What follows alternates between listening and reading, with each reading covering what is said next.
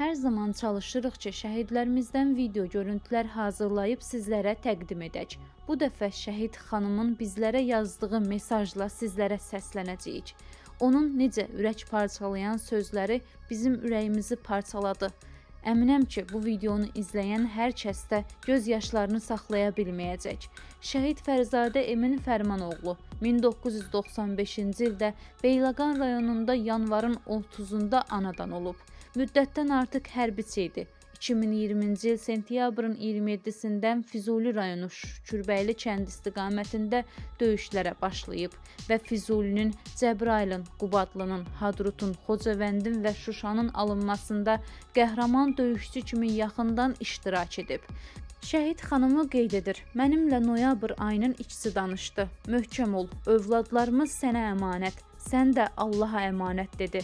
Yəni mən Eminlə hər gün danışırdım. Necə çətin vəziyyətdə olsa da o məni yığırdı. Heç vaxt döyüş çətinliyin hiss etdirmirdi. Ancaq ki sonuncu dəfə səsi çox yorğun gəlirdi. Eminə dedim ki, səsin çox yorğun gəlir. Dedi ki, heç nə, dayanmırıq. Dedim özündən müğayət ol. İnşallah görüşərik dedi. İnşallah görüşdük. Düzdür, ancaq tam fərqli. İstədiyimiz kimi yox. Noyabrın 2-si danışdıq.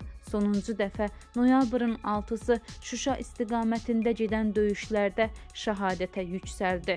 28 gündən sonra toyumuzun 3-cü il dönümündə dekabrın 3-ü şəhid xəbəri gəldi və 4-ü dəfn olundu.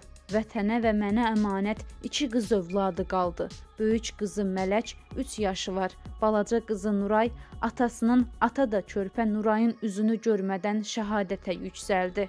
Nuray atasının şəhadətindən 6 gün öncə oktyabrın 30-u dünyaya gəlmişdi. Ancaq ki Emin döyüşlərdə olduğundan körpəsinin üzünü görə bilmədi.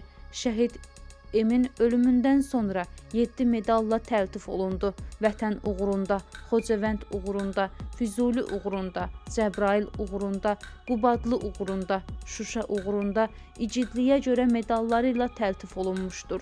Allah bütün şəhidlərimizə rəhmət eləsin. Şəhid xanımımıza baş sağlığı, səbir diləyirik.